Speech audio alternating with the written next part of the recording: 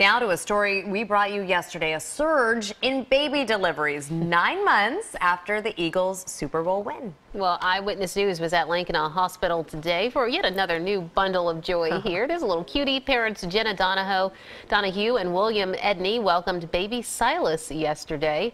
Jenna and William are big, big Eagles fans, but had to be in Las Vegas during the Super Bowl. We found an Eagles bar um, and we were watching the game and they won and we were so excited and one thing led to another and Silas is now here. Just as much as the Super Bowl was a miracle, you know, the baby comes as a miracle. Um, it was a long time coming for both. Um, super excited for both. that is so sweet. Well, baby Silas there weighed in at nine pounds and four ounces. He's adorable. Hair is Gosh. amazing.